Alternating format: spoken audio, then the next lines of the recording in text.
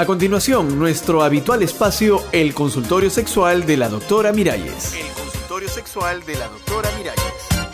Amigas, amigos, ¿qué tal? ¿Cómo están? Les cuento que antes de llegar a la emisora estaba leyendo un artículo en internet sobre el sexo y la salud.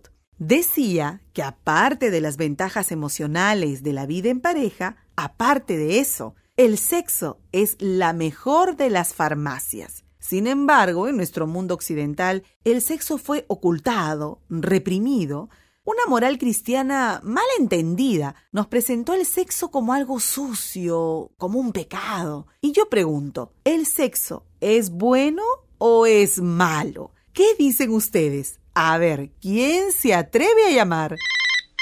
Aquí viene un atrevido o atrevida. ¿Aló? Ay, disculpe, no le estoy oyendo bien. Es que me he puesto un pañuelo en la boca. Ajá. Para que la madre superiora no me reconozca. Pero, pero ¿cuál madre superiora? Verá, es que yo, yo estudio en un colegio de monjas. Ajá. Unas, unas monjas muy conservadoras. Dime. Pero tengo un, un, un radiecito y escucho su programa.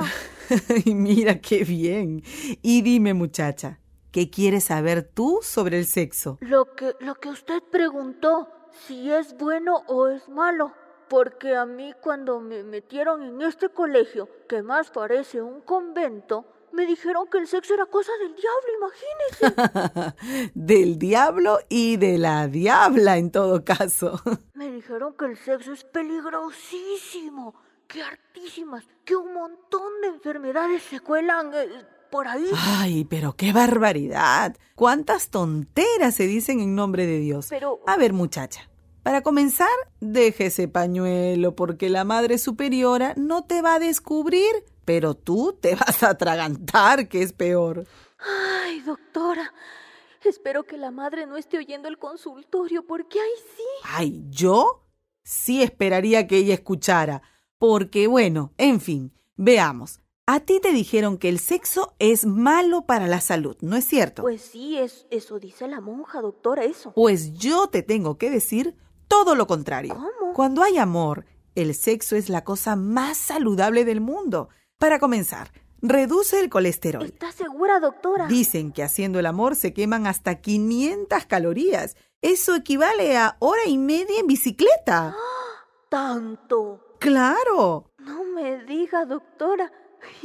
Y será por eso que la Madre Superior está tan gorda. Porque ella, que yo sepa. No, no, ella estará gorda porque traga mucho. Eso es otra cosa.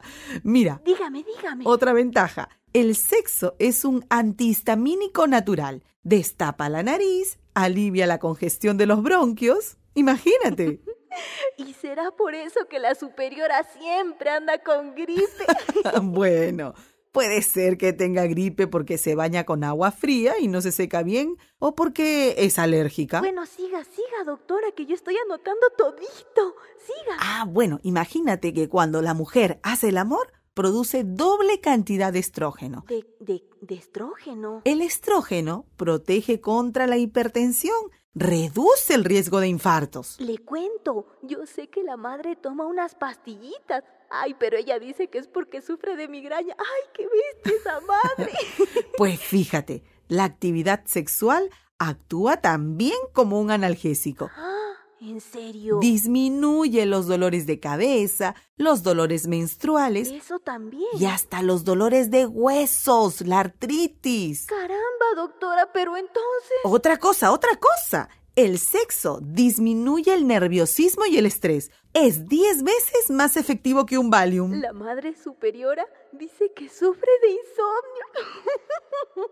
y eso, sin hablar de la belleza. Dicen que hacer el amor es todo un tratamiento de belleza. También eso. Mantiene la piel suave, le da brillo al cabello y con los varones las mismas ventajas. Por eso yo decía que el sexo es la mejor de las farmacias. Pero doctora, ahora que yo sé estas cosas, ¿qué hago yo, doctora, metida en este colegio, en este colegio? bueno, lo primero que vas a hacer cuando esa monjita te diga tonterías, le dices que ya te informaste y que no es cierto ese cuento de que el sexo es malo para la salud. No, no, no. Todo lo contrario. ¿Y, Y doctora, ¿qué hago? ¿Y si no me cree? Si no te cree, recuérdale aquel refrán que dice que una onza de práctica vale más que una libra de teoría. Así que... Ay, doctora, me botan del colegio.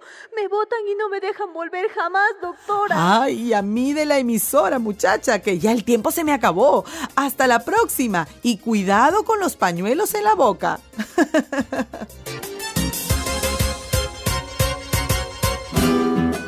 Una producción de radialistas apasionadas y apasionados.